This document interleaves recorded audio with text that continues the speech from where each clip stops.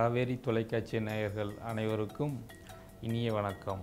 இன்று நலம் நாடி என்கின்ற இந்த பாரம்பரிய நிகழ்ச்சியில் நாம் காண இருக்கும் மருந்து உடலில் தேவையற்ற கொழுப்புகளை நீக்கவும் தேவையில்லாத உடல் பருமனை குறைப்பதற்குமான ஒரு அருமருந்து ஆகும்.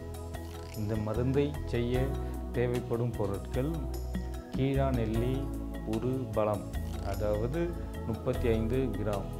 அதற்கு துணையாக வெந்தயம் ஒரு பலம் மஞ்சள் ஒரு பலம் நெல்லிக்காய் ஒரு பலம் மற்றும் கறிவேப்பிலை ஒரு பலம் மேற்சொன்ன இந்த பொருட்களை தனித்தனியாக காய வைத்து கொள்ள வேண்டும்.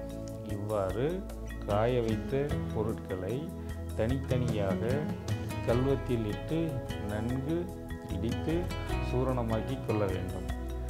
இவ்வாறு சூரணித்த அந்த பொருட்களை ஒன்றாக கலந்து ஒரு கண்ணாடி பாட்டில் அல்லது பீங்கான் பாத்திரத்தில் சேகரித்து வைத்துக்கொண்டு காலை இரவு என இரண்டு வேளையும் ஒரு டீஸ்பூன் அளவு எடுத்து வெந்நீரில் நன்கு கலக்கி உணவுக்கு பிறகு குடிக்க வேண்டும்.